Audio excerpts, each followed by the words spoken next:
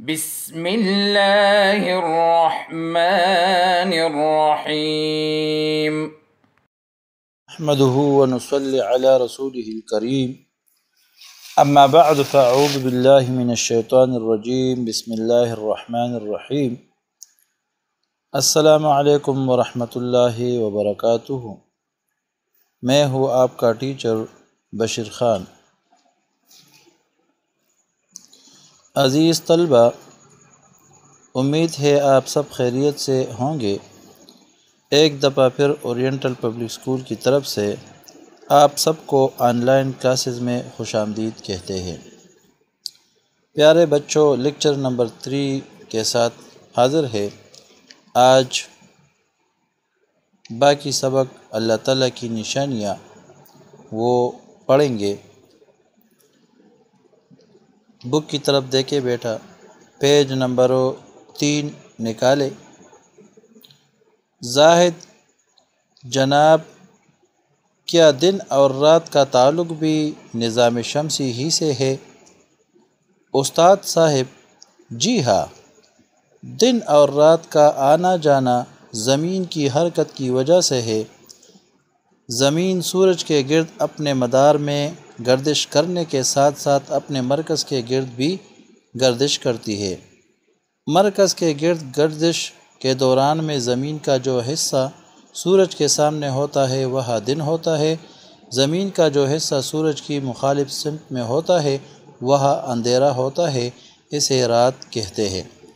हामिद, जनाब, दिन और रात की पैदाइश का क्या मकसद है? उस्ताद साहिब अल्लाह ताला ने दिन और रात इसलिए पैदा किए ताकि हमारी रोज़मर्रा की मसरूफियात में तनासब पैदा हो सके। हमारा जिसम मुसलसल काम नहीं कर सकता, इसे आराम की भी ज़रूरत होती है। अल्लाह ताला ने दिन और रात इसलिए बनाए कि हम दिन को काम काज करें और रात को आराम करें। तो प्यारे बच्चों, अल्लाह ताला ने रात आराम के लिए बनाया है। कि रात में हम आराम करें और रात में सुकून हासिल करें और फिर दिन में काम काज करें।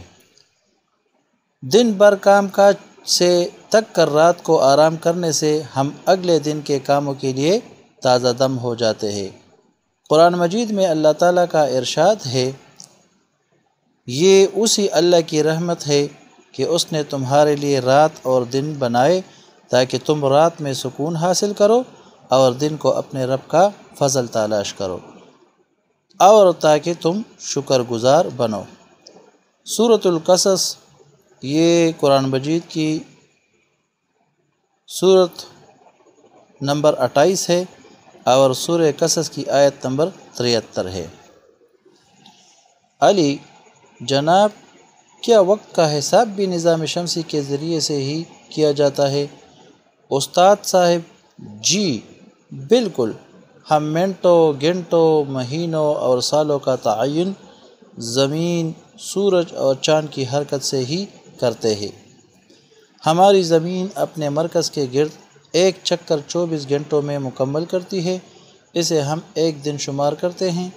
इसी तरह ज़मीन अपने मदार में सूरज के गिर्द एक चक्कर तीन सौ पैंसठ दिनों में पूरा करती है। तो ज़मीन अपने मदार में सूरज के गिर्द एक चक्कर तीन सौ पैंसठ दिनों में पूरा करती है। कितने दिनों में बेटा?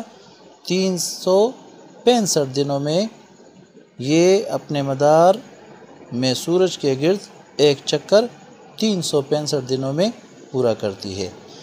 इसे हम शमसी साल कहते हैं। एक शमसी साल है और दूसरा कमरी साल है। शमसी साल सूरज के हिसाब से होता है। और कमरी साल वो चाँद के हिसाब से होता है। ठीक है बेटा, समझ गए? शमसी साल सूरज के हिसाब से होता है और कमरी साल वो चाँद के हिसाब से होता है। चाँद का ज़मीन के गिर्द एक चक्कर उनतीस या तीस दिनों में पूरा होता है, इसे हम कमरी महीना शुमार करते हैं। अल्लाह ताला ने कुरान मजीद में इसी बात को यूँ बयान फरमाया है, हुवल्लज़ी जअल अश-शम्स वल क़मर नूरन वक़द्दरहु मनाज़िल लितअलमू अदद अस्सिनीन वल हिसाब। सूर यूनुस, ये कुरान मजीद की सूरत नंबर दस है और सूर यूनुस की आयत नंबर पंच है। इस आयत करीमा में अल्लाह तबारक ताली फरमाता है, तर्जमा वही अल्लाह है जिसने सूरज को रोशन और चाँद को चमकदार बनाया, चाँद के घटने और बढ़ने की मंजिलें मुकर्र कर दी, ताकि तुम इससे बरसों और तारीखों के हिसाब मालूम करो।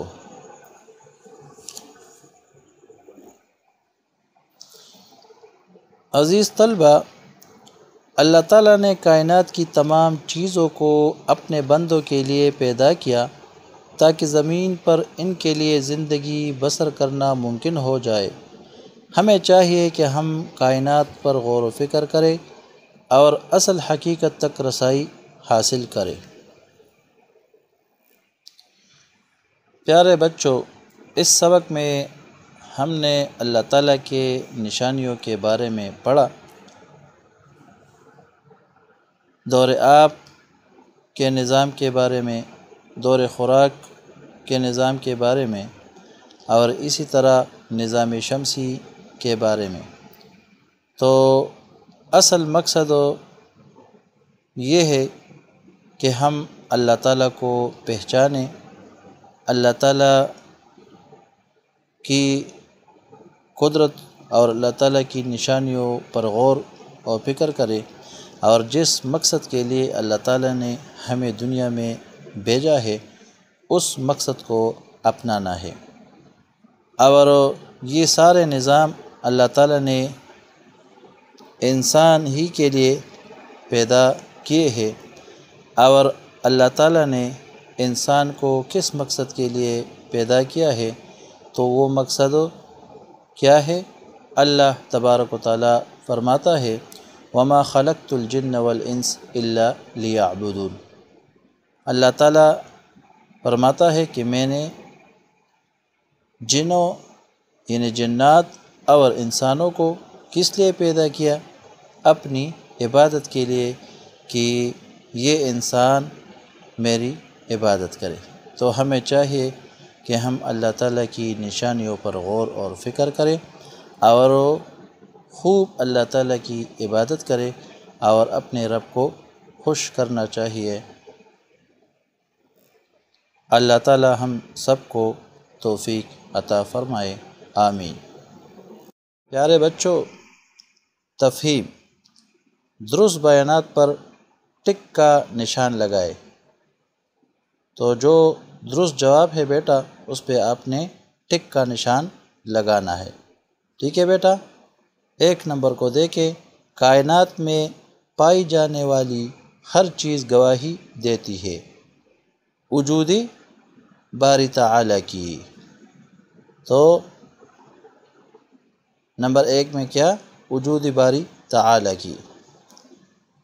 बा वो निज़ाम जो सूरज और इसके गिर्द घूमने वाले सियारों पर मुश्तमिल है, कहलाता है निज़ाम शमसी। क्या कहता है? निज़ामी शमसी कहलाता है।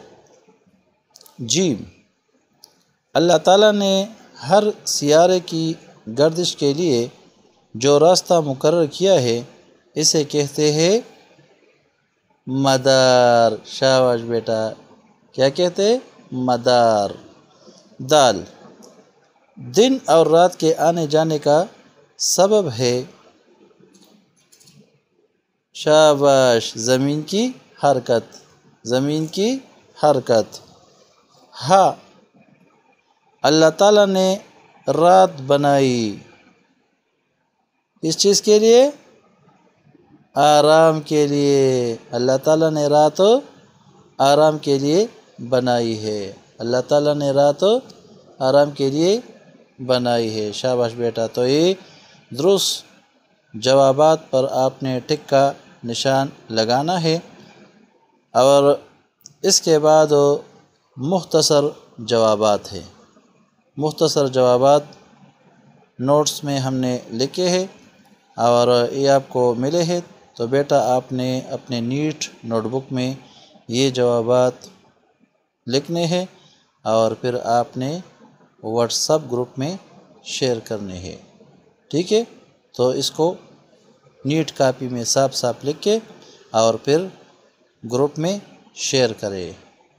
तो ये सबक नंबर एक, अल्लाह ताला की निशानियाँ और उसके सवालात जवाब कंप्लीट हो गए। इन अगले सबक के साथ फिर हाज़िर होंगे।